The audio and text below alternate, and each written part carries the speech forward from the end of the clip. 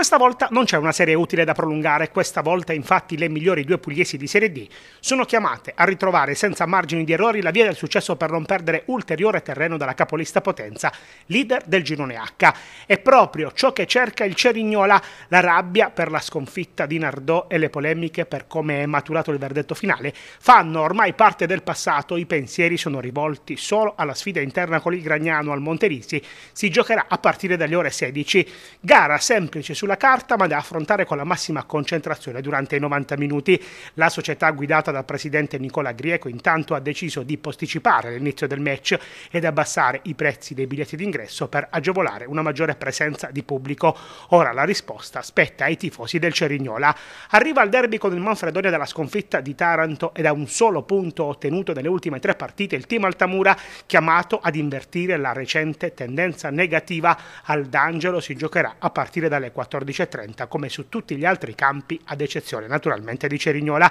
Sulla panchina dei Sipontini tornerà Giovanni Baratto richiamato dalla società alla guida tecnica ad una sola settimana di distanza dall'esonero post Torre del Greco. Abbinamento interno sulla carta tutt'altro che proibitivo anche per la capolista Potenza che ospita al Viviani la Turris mentre la Cavese, seconda in classifica insieme al Cerignola a meno 4 dalla Betta, farà visita alla Versa. Giocherà in trasferta il Gravina che domenica domenica scorsa ha conquistato con la Sarnese al vicino il primo successo del 2018. I Murgiani di Antonio De Leonardi se la vedranno contro un Francaville insigne a caccia di punti pesanti per tirarsi fuori dalla zona rossa della graduatoria. Gioca fuori casa anche il Taranto a Sarno Idem un Ardò decisamente in salute che nell'altro derby di Puglia della ventesima giornata affronta una delle squadre più in forma del momento, l'Alto Tavoliere San Severo, rigenerato dalla cura Giacomarro e reduce addirittura da sette risultati utili consecutivi, match quasi da ultima spiaggia per la Cenerentola Sporting Fulgor di scena a San Sebastiano al Vesuvio senza pubblico sugli spalti